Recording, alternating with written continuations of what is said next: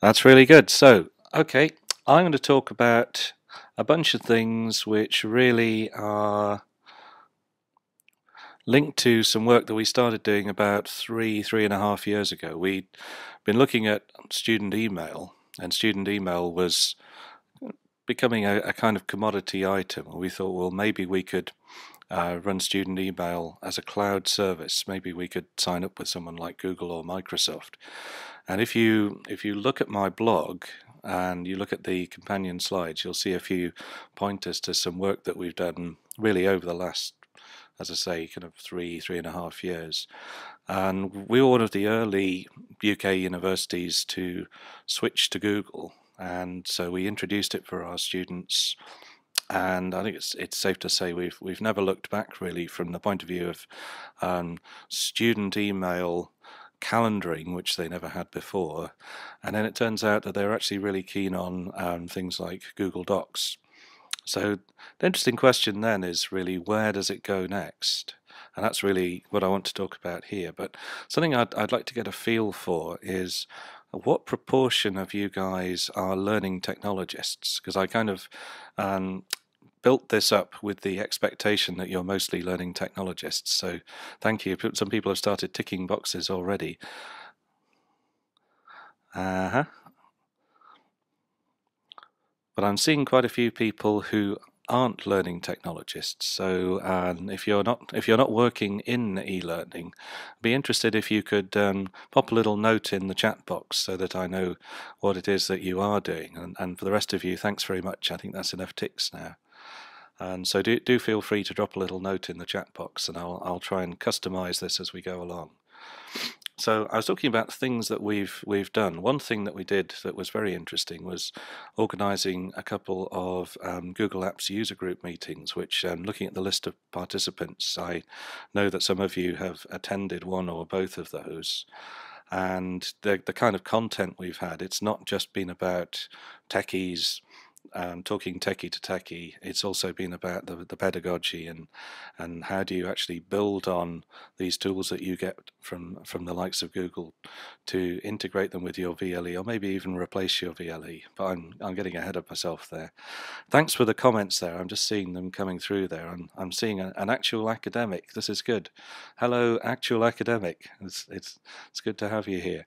Um, last um, last summer we did a little bit of a, a project with um, Google and Alt to um, try and recognize some some examples of excellence in terms of what people could do with with the Google tools. So you may have seen this if you if you came to Alt, you you are probably um, wowed by the stuff that people have produced. But I've got a couple of examples here. This is all about linguistics, and there's a link to this site and uh, a couple of other things in the uh, Google Doc with some shared URLs, which I think a few people have posted a link to. I'll, I'll, send a link to it as well in the chat box at the end of my bit.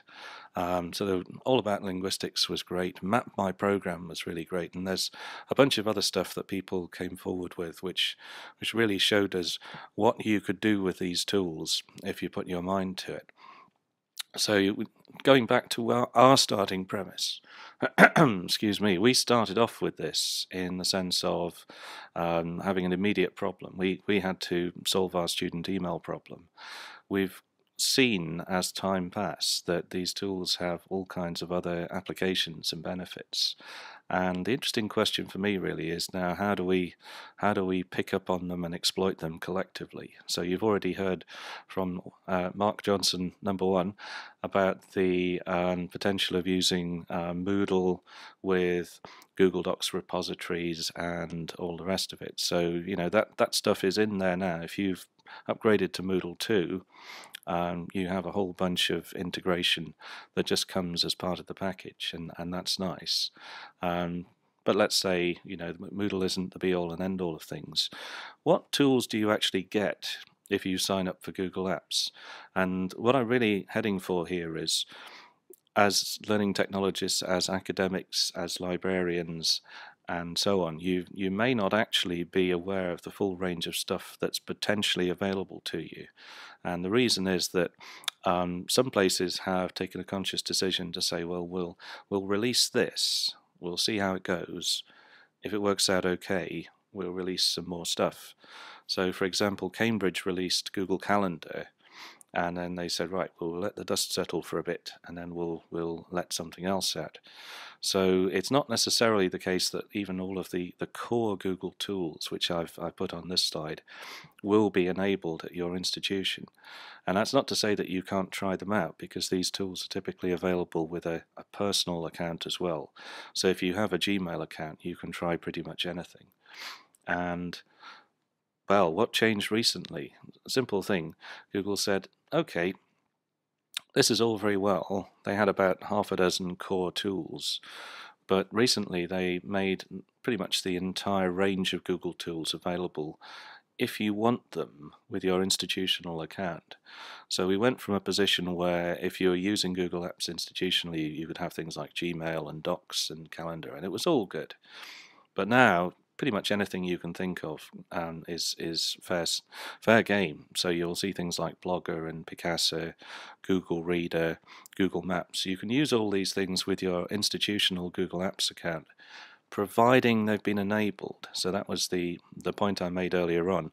Someone has to make a conscious decision. We're going to turn this on, and you may need to do a bit of lobbying if there's a particular feature that you want to use uh, pedagogically you may need to actually get that turned on for your institution.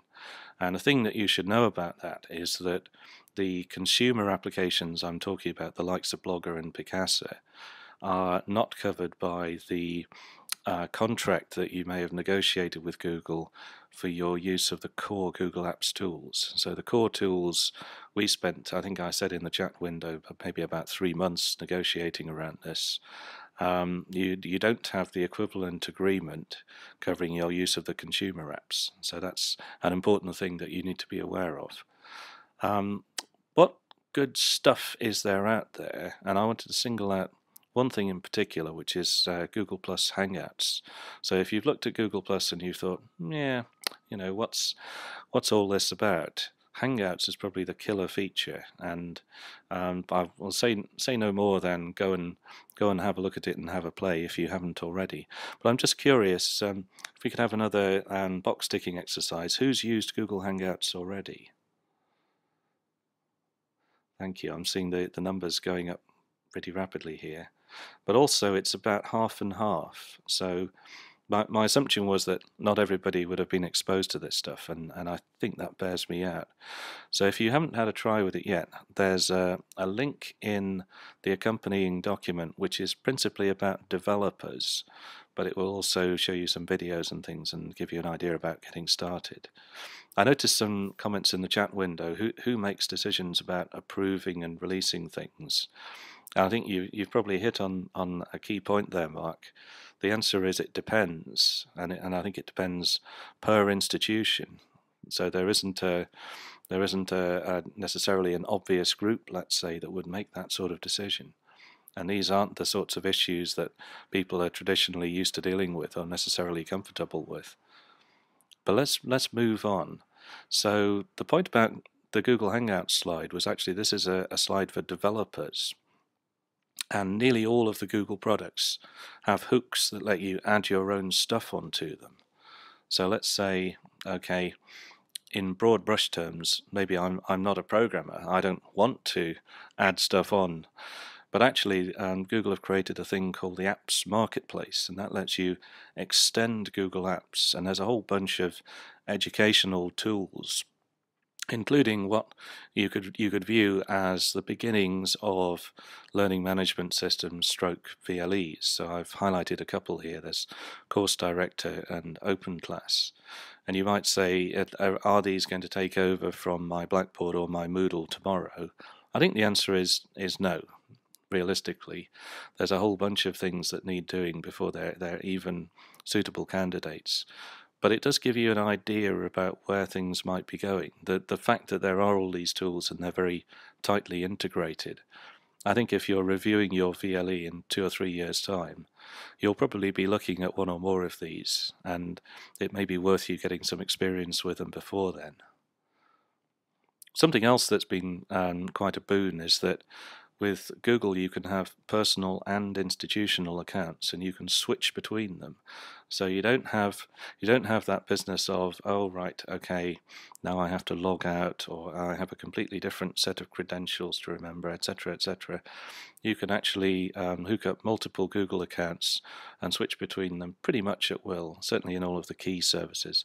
There's the odd one that's um, a little bit behind and that you'll actually have to log into separately or that you won't be able to switch accounts into but the stuff that you're most likely to use is has now been subsumed inside that framework. And as, as Sarah says managing multiple accounts can be a pain. So you may find that someone shares a document with you which you can't read because your your principal identity at that point in time is let's say your personal Google account rather than your institutional one. And there's a role there for anybody involved in let's call it e-learning support to to try and help people uh, through the maze there and somebody said where are things going then and will Google pay their taxes? I'm afraid I'm not going to talk about taxes today, so maybe do that one another day. Um, I talked about developers, and for me, there's a particularly interesting thing which I, have got a pointer here to a, a, guest lecture series that I'm doing for our computer science department right now. And the principle of that is to introduce people to the, the core technologies around cloud computing that they might subsequently want to exploit in their in their working career.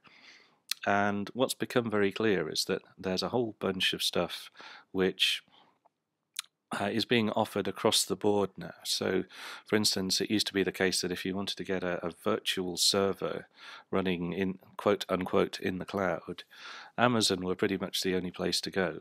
Now you can pay as you go with a virtual server from umpteen different places, and umpteen different people have built platforms that you can build your applications on top of.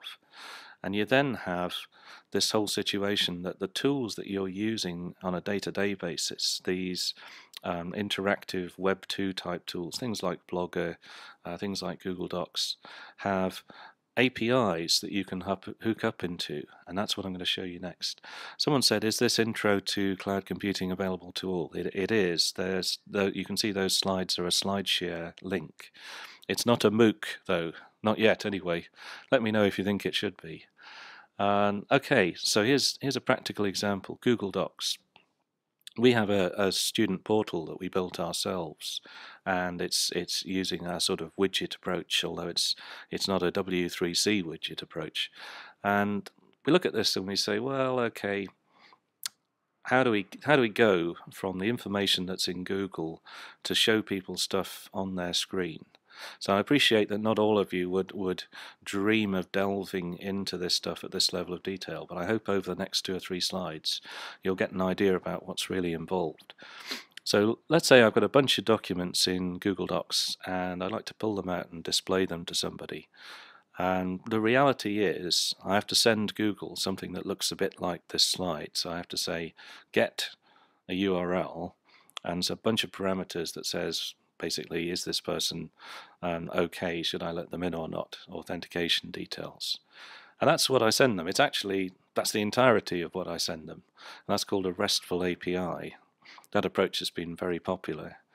And what do I actually do to code that as a programmer? Not very much more than what I've shown on the screen here. I've deleted a couple of bits just to just to fit it on. But fundamentally, uh, if I'm a PHP programmer, there's a library I can call out to, and most of that stuff is generic. The bits I highlighted in green are the, the things that are particular to your institution or also your own personal use of this because you don't have to be an enterprise customer to get access to these APIs I was talking about. So if you want to build your own stuff, if you want to hook up to um, the Google infrastructure, pretty much everything you need is actually available to you as an end user. And you could say, well, some of these things are chargeable, and I would be the first to admit that. There's a bit of a, a furore about Google Maps API. Um, but the, the bottom line is, if you want to get into this, if you're learning about coding, then there's there's a route in for you. And somebody working in an institution, there may be opportunities for projects, um, student projects, and your own internal development that take advantage of not just having access to the end user's version of the services, but also going behind the scenes, lifting the veil, if you like, and and poking around in there. And that's what these APIs do. The reality is you get some XML document back which will look a bit like this. So I asked Google via the API, what stuff have you got? I said, hello, what stuff have you got for this particular user? Here's the code I wrote to do it. And here's what I got back. So we're talking about something in quite abstract terms, let's say ordinarily. You can talk about things like APIs, and uh, if you're not a programmer, it's a pretty meaningless thing. You've now seen, and I appreciate that some of you are familiar with coding, uh, you've now seen how this works. And okay, parsing XML documents isn't something that you would necessarily want to do uh, on a on a sunny Sunday afternoon, but there are libraries that will do that kind of thing for you. So there's our there's our user, and we've got some documents back. The documents are the bits that are highlighted in red, and you could just pick those up, construct links to them, and bingo, you end up with something a bit like our widget. So it doesn't have to be hard. And you might say I'm kind of laboring the point a little, but there is a reason for it. And the reason is this. The reason is that um, just as Moodle has been hugely successful, um, not just in the HE sector, in the education sector generally, um, cloud services like Google Apps, and I would include Office 365 here, are being pushed out all over the place. So if you think about the new environment for kids going to school learning about ICT, if the kids going to school and learning about ICT learn a bit of programming, and there's a possibility that they may arrive at your institution having done this kind of thing. They may have done it for years. And I, I think that will give us all quite a different perspective on, on how we approach this whole technology enhanced learning um, arena. So that's that's my that's my talk really for today, and I'd invite any comments um, on the on the shared Google Doc about the, that content particularly, or uh, via the chat window or the moderators, if there's any particular questions you wanted to raise now. Thanks very much, guys.